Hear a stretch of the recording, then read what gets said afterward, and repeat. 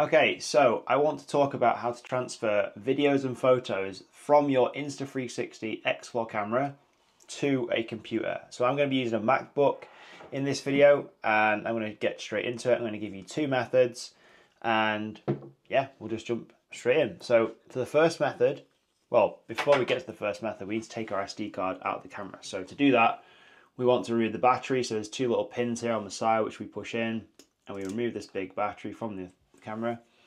And then the SD card is hidden in here, which you just need to use your finger to press and it should just come straight out. There's our little micro SD card. I'm just going to flip the camera around now and I'm going to show you how we're going to do this. Method number one, we're going to be using a micro SD card reader. This is just one I got off Amazon, which I'll leave a link in the description below if you want to get this, but it's got some USB sides on it. It's got USB-C on the other. And our micro SD card slot. So I'm going to go ahead and plug this in. And I'm going to literally slide our card in here.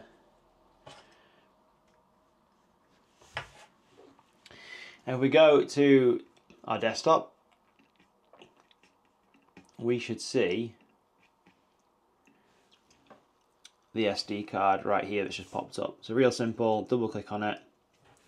And you want to go into DCIM and then camera 01 it'll usually be. And then you'll have two different file types in here. You'll have an, a file type that's called .lrv and you'll also have file types which are .insv. So if you're shooting 360, the INSV files are the full res files and the LRV are the low resolution files. So you want to drag ideally just the high resolution files in here. So what I would do is I would create a, um, a folder on my desktop, new folder, just call it test. And then I would simply drag my footage into this folder and it would do its thing. That's method number one. We'll move on to method number two.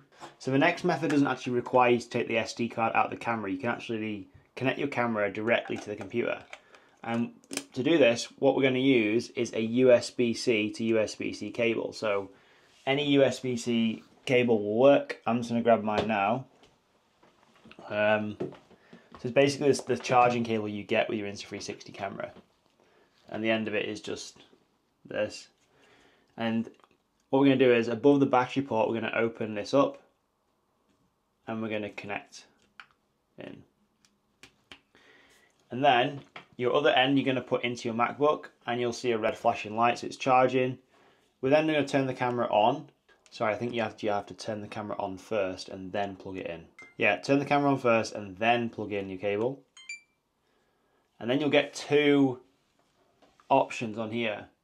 You want to click the top one that says U disk mode and it'll give you a prompt that it's connected to the computer. And then what will actually happen, which I'll show you now, you will get the same folder up here, which essentially is the same camera and SD card, and you'll go through the same process as I just walked through of dragging and dropping your folders into the destination. And that's basically it. That's how you transfer media, photos and videos from your Insta360 X4 camera to a MacBook or computer. Any questions, leave them below and I'll get back to you and we'll see you in the next video.